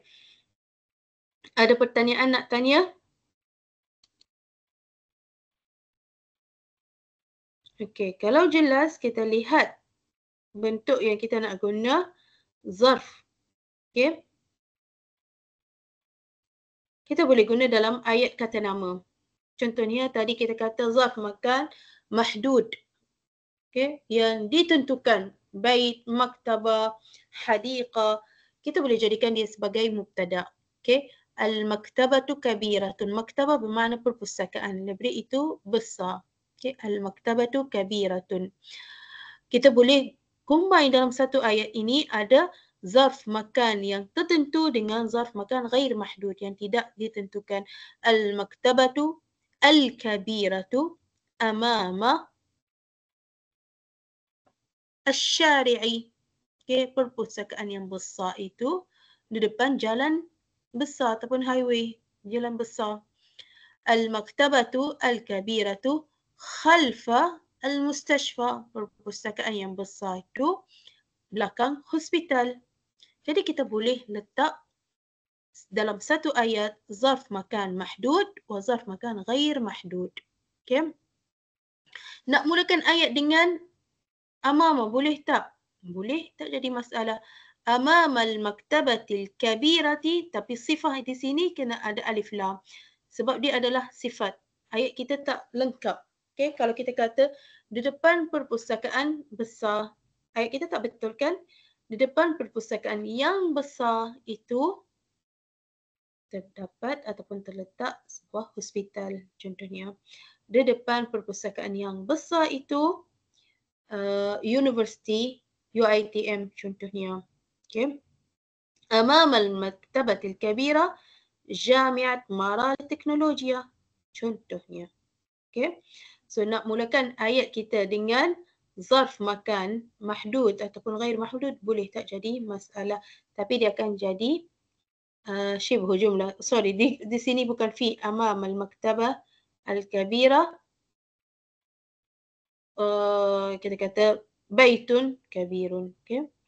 Nak mulakan dengan zarf zaman, boleh tak mulakan dengan zarf zaman al-yawma Okay, al-yawma fi hadha al-yawm bermaksud fi hadha al-yawm. Al-yawma akmaltu lakum dinakum wa raditu lakum al-islam dina dalam ayat Quran. Pada hari ini di dalam khutbah Hajatul Wada Nabi sallallahu alaihi wasallam uh, berpesan selepas memberi pesanan kepada umat Islam baginda sallallahu alaihi wasallam mengatakan hari inilah lengkaplah syariat uh, apa yang diutuskan ataupun al-yawma akmaltu lakum dinakum okay, dan uh, agama Islam menjadi agama yang diredai. Ataupun as-sanata sanatun amiratun. Dalam tahun ini as-sanata tahun ini merupakan tahun yang penuh dengan uh, kejadian yang menggembirakan. Okay. So boleh tak jadi masalah? Khabar. Khabar iaitu predikat al-maktabatul kabiratu amama al-mahatta. Perpustakaan yang besar itu di depan stesen, stesen minyak ataupun stesen bas, stesen uh, kereta api contohnya, mahattat al-gitar, mahattat al-hafila contohnya. Jadi boleh jadikan dia sebagai predikat. So ini adalah benda iaitu perpustakaan besar. Cerita dia terletak di depan stesen, ستيشن آه، مياكة بنزين هتكون ستيشن آه، باص حافلة هتكون ستيشن كتابي قطار. سو سكتبوا لي جري كان ظرف مكان إتو سباقاي خبر.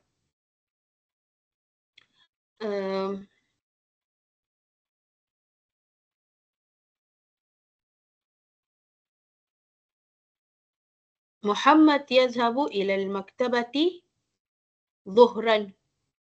Okay, boleh jadi letak uh, zarf zaman. Tapi di sini boleh tak nak selitkan zarf zaman ikut kesesuaian. Okay. Contohnya kita kata perpustakaan yang besar terletak di depan stesen ini dah lengkap dah tak perlu dah kita nak nak tambah zarf zaman dan sebagainya.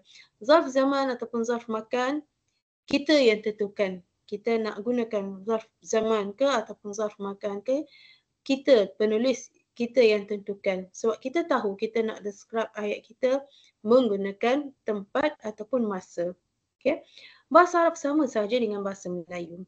Okay. Bezanya ialah apabila kita nak terjemah ayat ke dalam bahasa Arab, kita mesti raikan gender, unsur gender, kita mesti meraihkan unsur bilangan iaitu uh, singular, plural ataupun dual. Dual iaitu musanna.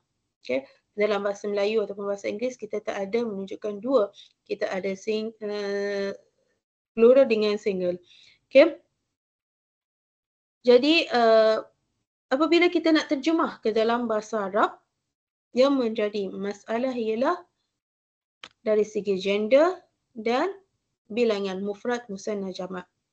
Jadi bila nak gunakan zarf zaman dan zarf makan, kita boleh lihat sendiri, kita boleh uh, analisis sendiri. Adakah zarf zaman dan zarf makan ini menunjukkan gender? Biasanya tidak perlu kita letakkan gender pada zarf zaman dan zarf makan kerana dia hanya describe kepada zaman ataupun bentuk tapi kita boleh letak dhamir mutasil iaitu contohnya ama muha di depan dia perempuan dhamir mutasil untuk hiya okey amamuhu di depan seorang lelaki. So itu boleh. Okey jelas. Jelas part ini. Okey so penggunaan dia sama saja dengan bahasa Melayu. Tak, tak ada tak ada sepatutnya tak ada masalah lah kalau kita nak guna zarf zaman dan zarf makan. Syibhu jumlah sepatutnya saya tak guna harf jar tapi saya menggunakan zarf zaman. So tukar perkataan fi kepada amama, khalfa ataupun bijiwar ataupun janib. So kita boleh menggunakan zarf uh, makan sebagai syibhu jumlah. Maf'ulun fihi, maf'ulun fihi. Ya, biasanya kita menggunakan zarf zaman. Okay. Tashtaddul, yashtaddul harru saifan. Sorry bukan ta tapi ya. Yashtaddu al-harru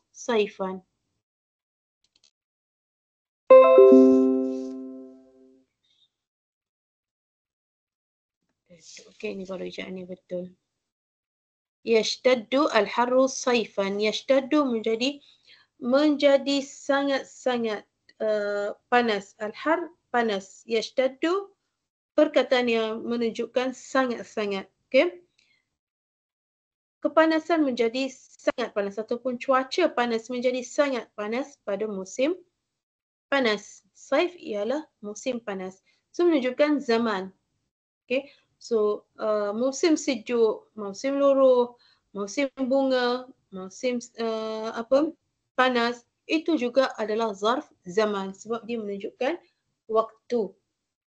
Okay bukan sahaja hari, bukan sahaja jam dan sebagainya. Musim pun kita boleh anggap dia sebagai zarf zaman. Okay, sebab dia menunjukkan pada tempoh masa yang tertentu. Okay. So jelas ada pertanyaan, sebarang pertanyaan dan soalan.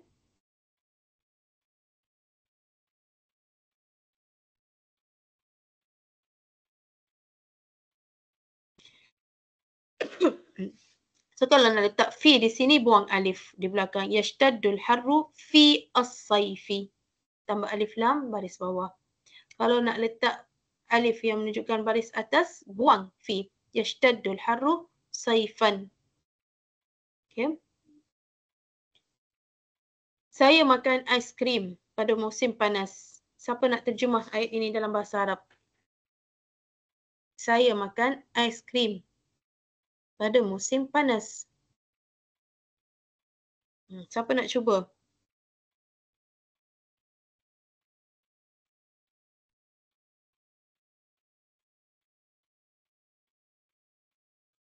Ada siapa-siapa nak cuba?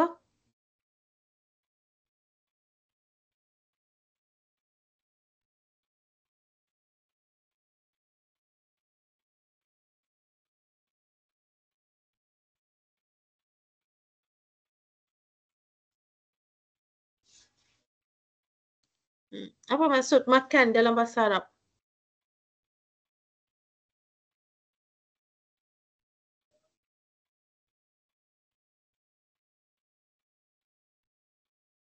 Hmm. Yalah, Ya, yalah. betul. Ya dulu. I- Tapi bila kita tambah ya di depan, terus dia akan menjadi dia seorang lelaki memakan. Okay. So ingat konsep bila tambah ya dan kata kerja, penggunaan ya itu untuk lelaki. Dia lelaki. Huwa yakulu. Yakulu aiskrim. Apa aiskrim? Sama sahaja. Yakulu al-aiskrim saifan. So nampak mudah sangat nak belajar bahasa Arab. Yakulu Muhammad al-aiskrim saifan. Kalau nak kata saya, buang ya di depan kata kerja itu, tambah alif. Sebab ana di depan ana tu kan ada alif, maka ambil hamzah, alif hamzah di pada perkataan dhamir ana itu, pluskan dengan kata kerja. Akulu, ajlisu, ashrabu, anamu, azhabu, aqra'u, aktubu. So nampak sangat mudah bela- belajar bahasa Arab. Dhamir ana dia ada alif hamzah di depan. Bawa alif hamzah itu pada kata kerja. Ana akulu, ana aqra'u, ana anamu, ana ajlisu, ana akulu. Okay, so itu maksud dia saya makan, saya berjalan, saya pergi, saya uh, baca kalau kita tambah alif. Okay, akulul aiskrim saifan. Okay, so sekarang jam menunjukkan 9.32 dan kita telah mengetahui cara penggunaan zarf zaman dalam ayat. Saya betul-betul menggunakan yang basic.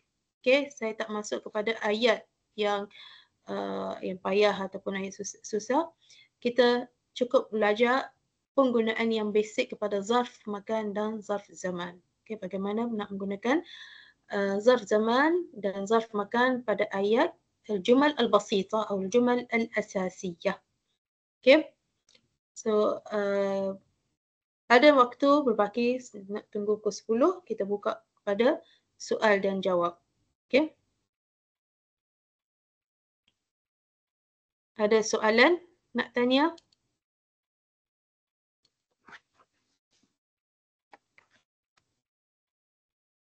Okay, kita buka soalan. Mungkin uh, beberapa soalan lagi lah sebelum kita stop webinar kita.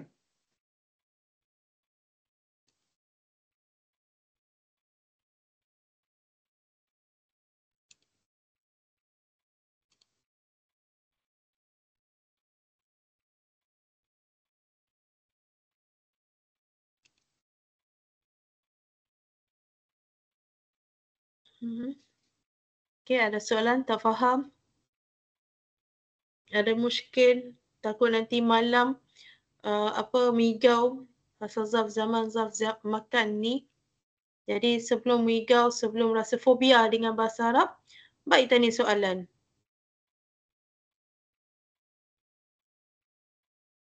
Uh, Ustazah, Ya, silakan.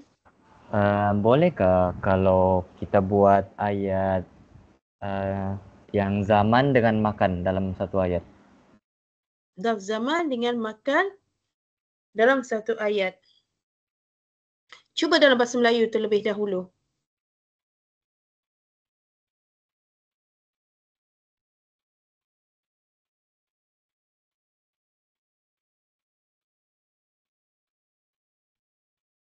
Okay, cuba dalam bahasa Melayu. Kita katakanlah Muhammad Ah, contoh. Uh, berdiri di depan kelas pada waktu pagi. Muhammad berdiri di depan rumah ke di depan kelas ke pada waktu pagi. Betul tak ayat ini dalam bahasa Melayu? Dan cuba tukar dia dalam bahasa Arab.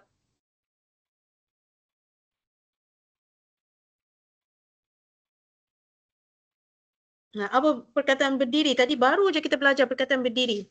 So kita ulang balik perkataan yang kita belajar. Untuk kita ingat, kita enhance balik perkataan yang kita dah belajar. Okey, berdiri. Baru sa- sa- tadi kita belajar perkataan berdiri.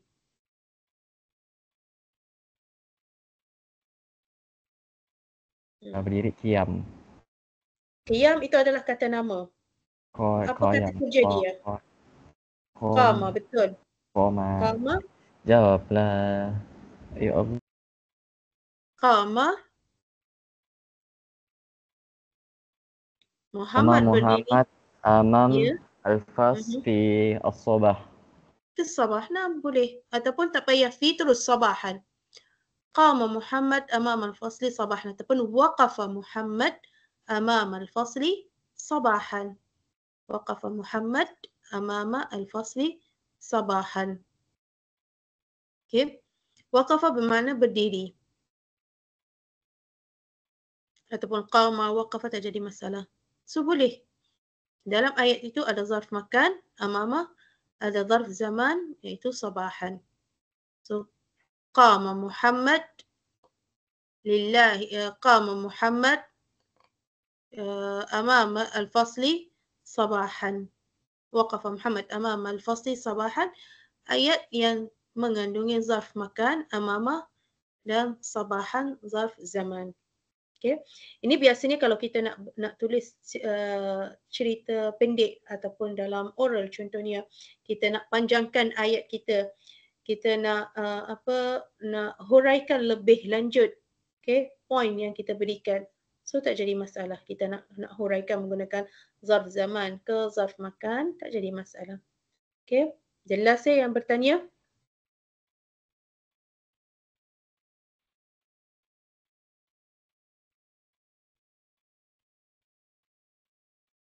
Contoh lain, uh, qara'a at-talibu al-kitaba amama al-muallimi sa'atan. Okay, pelajar itu membaca buku di depan gurunya selama satu jam. Okay. Tak jadi masalah.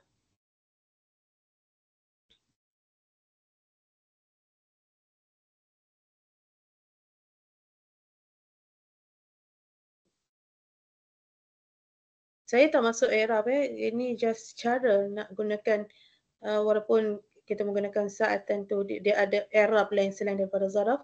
Tapi yang pentingnya bagaimana kita nak menggunakan saat dan yauman, amama, fauqa dan sebagainya dalam ayat. Okay. Ada lagi soalan? Perkataan sa'ah, dia ada dua maksud tahu dalam bahasa Arab.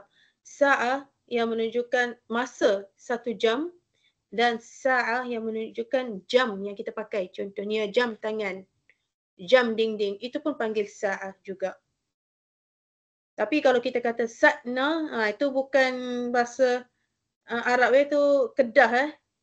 Itu maknanya tunggu sekejap. Okay, jangan confuse. Itu dialek kedah. Satna, kalau sa'atan, ha, itu bahasa Arab. Okey, ada lagi soalan?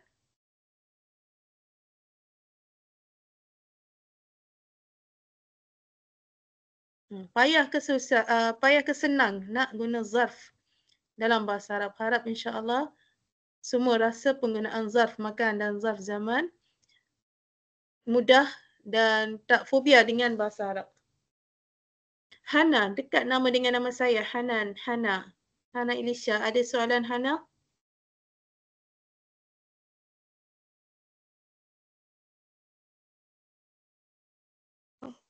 Tak ada. Tak ada. Tak terfikir lagi. Okey, siapa lagi? Baik, tanya soalan sebelum saya tanya kamu soalan.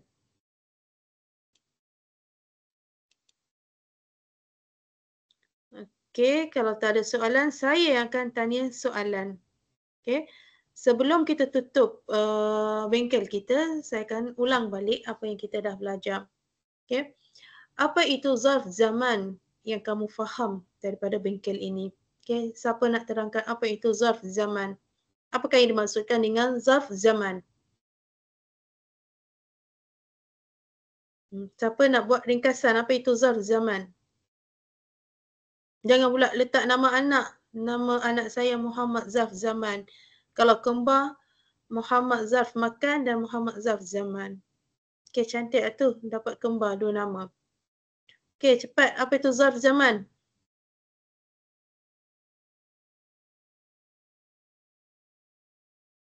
Hmm, Apa yang antum faham dengan zarf zaman? Kalau tak ada mic boleh type, tak jadi masalah eh.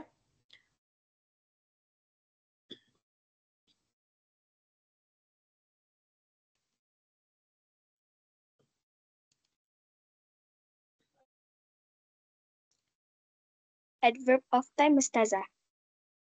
Uh-uh. Contoh zarf zaman. Okay, apa contoh zarf zaman? Ba'da. Ba'da. Okey, lagi? Masaan. Sobahan. Sabahan lagi? Masaan. Okey, sudah disebut masaan lagi?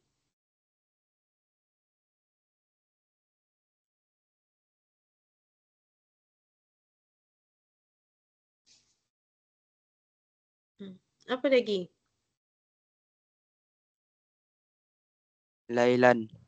Lailan. Okey.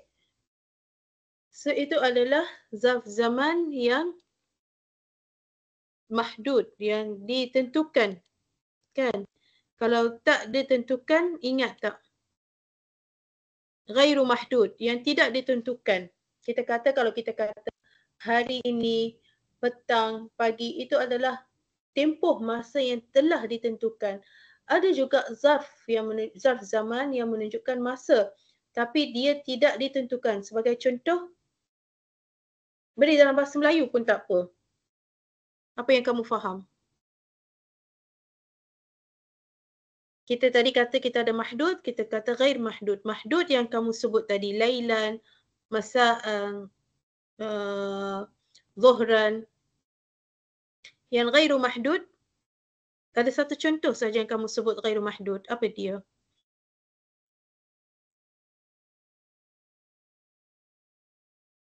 Yang tidak ditentukan. Okay. Yang ini sebenarnya bukan uh, sesuatu yang kita nak belajar dari segi istilah mahdud dan ghairu mahdud. Yang penting kamu tahu, oh kalau penggunaan ini, ini pun juga merupakan zarf zaman. Contohnya seperti sebentar. Okay. Selepas. Selepas kita tak tentukan selepas apa. Selepas waktu pagi ke, selepas zuhur ke, selepas uh, makan ke apa ke. So itu ghairu mahdud. Okay. Lahzatan. Seketika. Okay. Burhatan. Sebentar. So itu adalah zarf zaman juga yang menunjukkan tem- tempoh masa tapi tempoh masa yang tak tertentu. Kalau tadi ada tempoh masa tertentu. Waktu pagi sahaja, waktu tengah hari sahaja, sebulan sahaja, setahun, sehari. Okay, so itu adalah zarf zaman yang ditentukan, zarf zaman yang tak tentukan seperti burhatan, lahzatan, sebentar, seketika. So itu pun juga kata nama yang menunjukkan tempoh masa. Okay. Kalau kita nak uh, panjangkan ayat kita, kita gunakan zarf zaman mukhtas. Contohnya mukhtas, saya bermusafir pagi.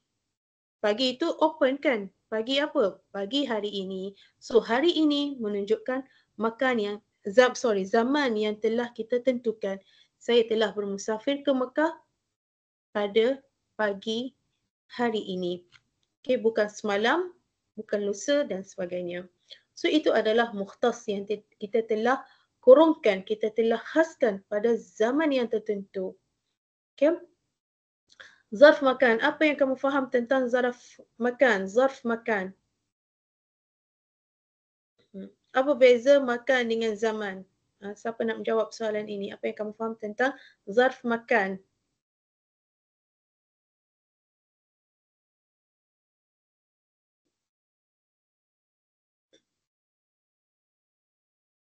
Hmm, siapa nak jawab apa itu zarf makan? Apa maksud makan? Jangan ingat makan tu makan ya. Lepas ni kamu nak lepas bengkel ni nak pergi cari makan, ha, pergilah cari makan. Tapi jawab soalan saya dulu. Apa itu zarf makan? Ah, silakan. Yang angkat tangan. Saya mau jawab. Silakan Muhammad. Makan itu uh, bezanya untuk kedudukan dan kalau zaman itu Hmm, untuk ma- makan tu untuk kedudukan Betul. dan zaman tu untuk masak. Ya, betul. So sangat mudah. Okey. Makan itu adalah kedudukan, tempat, zaman itu adalah masa.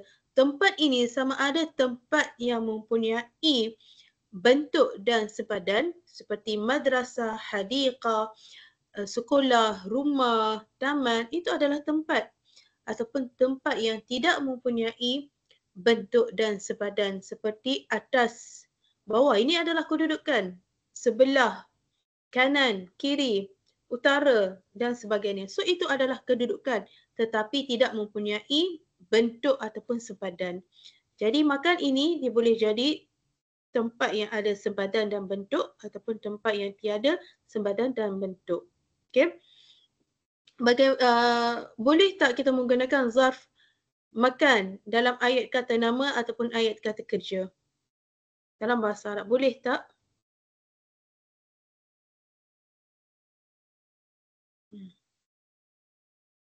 Saya sebenarnya tadi nak sediakan soalan.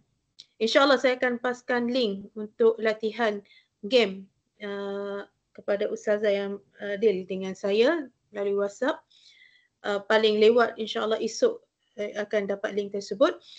Asalnya saya nak berikan uh, link game tersebut tapi dia akan jadi lagi apa seolah saya seorang saja bercakap. Jadi untuk hari ini kita jadikan bengkel kita dua hala. Nanti saya akan paskan link untuk latihan dan uh, tadribat praktikal kepada penggunaan zarf zaman dan makan insyaAllah. Okey, sebelum kita bersurai, apakah it, uh, adakah kita boleh gunakan zarf makan dalam ayat kata nama dan ayat kata kerja bahasa. Tadi kita dah lihat banyak contoh ayat. Jadi boleh tak kita guna zarf makan dalam ayat kata nama? Ataupun sebagai subjek. Boleh tak zarf makan tu digunakan sebagai subjek dalam ayat? Boleh. Ha, contoh yang kata boleh tu petik je nama siapa-siapa kawan kamu. Kamu dah jawab dah tadi boleh. Okey, petik saja nama siapa-siapa. Ini dia bukan nak kenakan kawan lah. Dia nak bagi kawan pandai sama dengan dia. Okey, panggil kawan, nama kawan. Satu nama. Azlah. Okey, silakan nama yang dipanggil. Dia kata kalau kamu kata boleh datang sebagai subjek. Ha, berikan satu contoh. Zarf makan yang digunakan sebagai subjek dalam ayat. Ah, ya Ustazah. Ya, silakan. Ajla, silakan. Um, sekejap, sekejap ya. Mm-mm.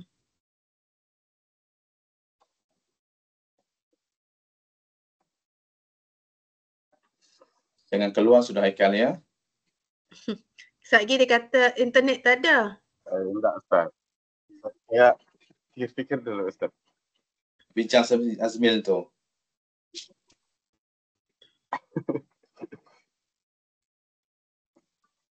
Uh, apa salah soalan tu?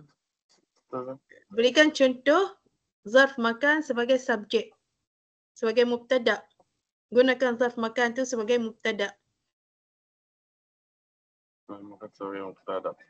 Um, ajlis bijanib al-maktab. Uh, apa tadi? Apa yang bijanib al-maktab? Ajlis.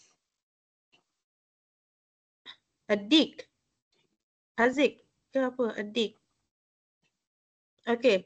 Bijanib al-maktabi. Bijanib al-maktabi itu adalah dah predicate. Okay. Ajlis Ustazah.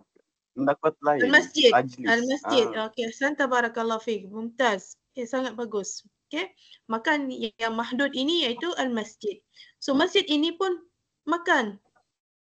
Tapi dia Arab dia sebagai mubtada dan sebagainya. So masjid itu bijanib al-madrasah. Masjid itu di- sebelah madrasah. Sangat bagus Ajal. Ajla, sorry, Ajla. Okay. Ahsan tabarakallah fiq. So al-masjid bijanib al-madrasah. Sangat mudah. Atau kamu nak terbalikkan bijanibil madrasati masjidun pun boleh tak jadi masalah. Okey, nak kata di sebelah sekolah masjid ataupun masjid itu di sebelah sekolah, dua-dua boleh dalam bahasa Arab. Okey. Jadi boleh cakap selepas ini bahasa Arab dengan penuh yakin al-masjidu bijanib al-madrasah ataupun bijanibil madrasati masjidun. Okey. Pun boleh tak jadi masalah dia datang dalam bentuk di depan ayat syibhu jumlah. Okey. So jelas? Faham? Okay. Kita boleh juga menggunakan sebagai uh, ayat dalam kata kerja. Siapa nak berikan contoh ayat kata kerja yang ada zarf sama ada zarf makan ataupun zarf zaman. Apa itu ayat kata kerja? Ayat kata kerja bermula dengan kata kerja. Siapa nak cuba? Baik kamu cuba kan kalau dah habis bengkel ini duk menyesal seseorang dekat bilik. Kalau dah menyesal seseorang dalam bilik tak dapatlah nak bantu. Okey, siapa nak cuba? Ayat kata kerja yang ada zarf. Sama ada makan ataupun zaman tak kisah. Siapa nak cuba? Buat pas button tu dekat kawan. Ha, pas kat kawan. Ajlan boleh pilih siapa-siapa? Uh, saya pilih Aidil. Aidil. Ha, sebab kita dah dekat dengan Aidil Adha. Silakan Aidil. Faham Dato'? Apa tadi soalannya Ustazah? Gunakan zarf zaman ataupun makan dalam ayat kata kerja. Azhab ila al-jami'ah sabahan. Nah, ahsanta Masya Allah Aidil. Dah bunyi macam orang Arab. Okay, azhabu ilal jami'ati sabahan. Okay, sangat bagus. So, sangat mudah dan tak susah pun belajar bahasa Arab. Kalau orang kata bahasa Arab payah, susah, cakap hang kelentong, kamu ketipu, bahasa Arab tak susah, tak payah. Senang saja macam kacang insya-Allah. Okay? Jadi, jangan takut belajar bahasa Arab. Belajar bahasa Arab adalah perkara yang normal kalau kita melakukan kesalahan. Okay? Sedangkan bahasa ibunda kita sendiri pun kita melakukan kesalahan, apatah lagi bahasa yang kita baru nak belajar ataupun kita baru nak mahir. Sebenarnya bahasa Arab ini bukan bahasa yang asing pada kita. Bahasa Arab adalah bahasa yang pertama kita kenal kerana apabila kita dilahirkan, perkataan yang pertama ataupun bunyi yang pertama yang kita dengar adalah azan. Jadi dalam bahasa Melayu sendiri pun beribu-ribu perkataan yang dipinjam daripada bahasa Arab. Jadi kita dah bercakap bahasa Arab cuma kita tak sedar. Okay? Nama-nama kita sendiri pun nama-nama yang ada makna yang sangat cantik dan sangat indah dalam bahasa Arab. Jadi kalau nak fasih ataupun mahir bahasa Arab, insya-Allah tak susah, tak payah. Yang penting kita nak ke tak nak itu sahaja. Okey, uh, kalau ada soalan silakan ajukan soalan. Uh, kalau tidak saya serahkan uh, majlis ini kepada pengurusi majlis. Assalamualaikum wa syukran jazilan. عفوا كثيرا ونشكر فضيلة الأستاذة حنان بنت صالح على هذه الورشة الجميلة والمفيدة والنافعة وكذلك نشكر الأستاذة العابدة كذلك أستاذة فاطمة أستاذة عائشة دكتور أنوار eh, dan juga pensyarah dari UiTM Melaka. Ya, dan juga seluruh para pelajar yang uh, Masya Allah, Tabarakallah ya, atas uh, komitmen, atas uh, tumpuan yang diberikan. Begitu uh, semangat saya tengok okay? uh, begitu semangat dengan soalan-soalan yang, yang ditanyakan, diajukan. Ya, semangat menjawab, semangat bertanya. Alhamdulillah syabas saya tanyakan dan tanya kepada semua pelajar yang memberi komitmen penuh sepanjang webinar kita pada petang ini jadi terima kasih sekali lagi saya ucapkan kepada panel kita pada petang ni. Uh, pada malam ini, maaf ya, pada malam ini Dr. Uh, ataupun Ustazah Hanan eh, binti Soleh uh, atas penyampaian yang dikongsikan bersama kita pada malam ini ataupun sebentar tadi. Jadi sebelum mengakhiri uh, webinar kita pada malam ini, uh, Ustaz link akan dikongsikan oleh Ustazah, ya, link uh, kehadiran uh, webinar malam ini Uh, kemudian yang kedua, uh, sebelum kita uh, berakhir nanti ada sesi bergambar. Okay, uh, Ustaz minta uh, Ustaz harap semua pelajar dapat on sekejap, turn on sekejap kamera tu untuk sesi bergambar uh, yang akan kita uh, uh, minta Ustaz Abidah kod yang handle. Okay, yang uh, jadi sebelum kita uh, mengakhiri webinar pada malam ini, uh, kita bergambar dulu, sesi bergambar. Silakan on kamera semua. InsyaAllah kita jemput lagi eh, pada seminar ataupun webinar akan datang eh, Dr. Uh, Ustazah Hanan. Uh, InsyaAllah. Jemput-jemput masuk. Ha, masuk.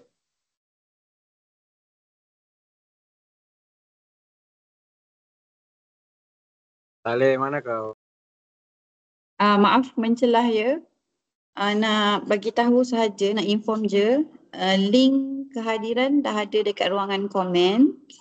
Sila isi selepas habis sesi uh, bergambar ni dan ya Allah. Alif, uh, cantik-cantik sikit video tu. Uh, lepas ni kita akan tutup uh, link tu dalam masa beberapa puluh minit lah. Tak adalah dua minit je. Okay. Lepas ni lah baru isi. Jangan isi sekarang. Okay, gambar dulu. Siapa yang Ni snap? boleh? Okay. Ha, senyum semua. Okay, Ustazah Abidah ambil gambar. Okay. Baik, wahid, isnain, salasa. Eh. Sekali lagi. Tak save dulu. Lagi yang pelajar-pelajar perempuan malu ke nak masuk. Baik, Tak nampak wahid, pelajar perempuan kan? isnain, salasa. Hmm. Ya, save dulu. Siapa lagi nak masuk? Tak ada dah eh? Okay, okey lah ni. Sekejap saya buat yang galeri pula. Galeri ramai tak? Ah, macam ni pula. Okey, baik. Okey, senyum eh. Wahid, Isnain, Salata.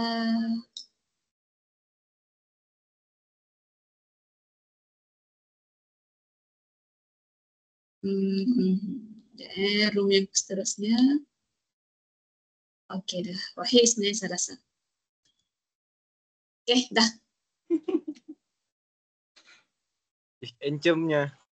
Okay, syukran jazilan lakum. Terima kasih semua.